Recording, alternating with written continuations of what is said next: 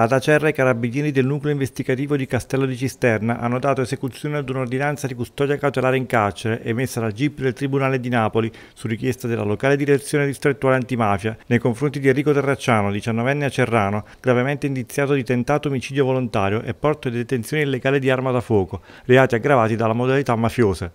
L'indagine condotta dal nucleo investigativo di Castello di Cisterne, diretta dalla DDA partenopea, è stata avviata a seguito del tentato omicidio avvenuto in Acerra il 15 marzo scorso in danno di un 23enne cugino dell'arrestato. All'esito dell'attività investigativa, a carico di Enrico Terracciano sono stati acquisiti gravi indizi di colpevolezza in ordine alla materiale esecuzione del tentato omicidio e si è compreso che il movente del delitto sia ragionevolmente individuabile nel credito di una somma di denaro che l'autore del delitto aveva nei confronti della vittima per un affare illecito.